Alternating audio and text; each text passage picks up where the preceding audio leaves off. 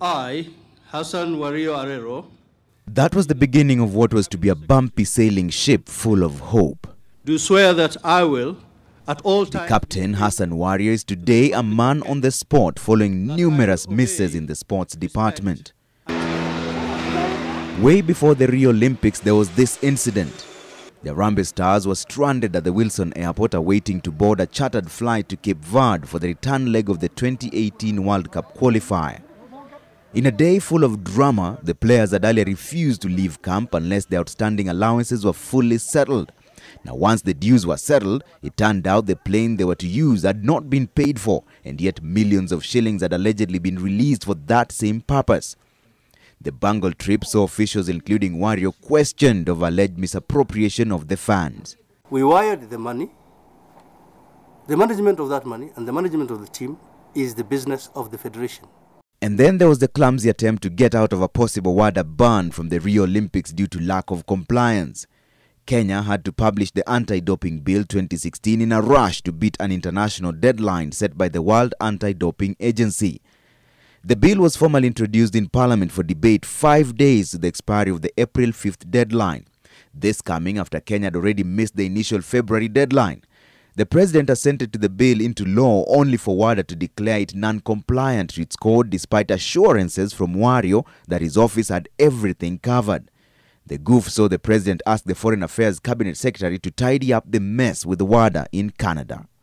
The government has sought an urgent meeting with WADA to review the few remaining areas of concern and secure a review of its decision.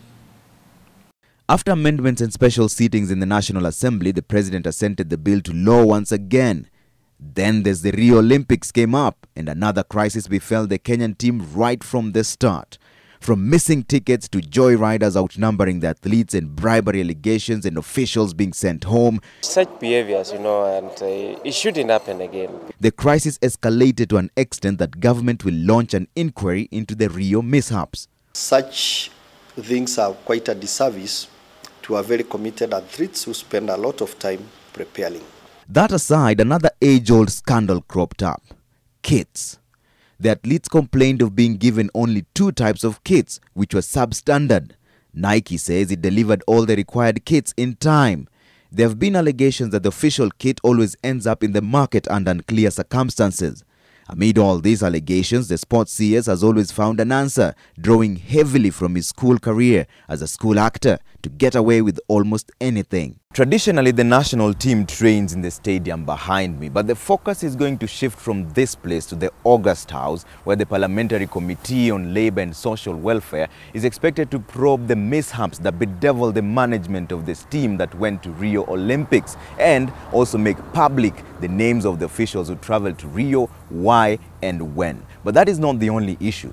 The Deputy President has also directed the Sports Cabinet Secretary Hassan Wario to launch a probe into the Nike kit scandal. But critics wonder how Wario would be able to probe the same ministry he's the head of. In fact, they say the buck stops with him and he should take responsibility first. Trevor Ombija, NTV.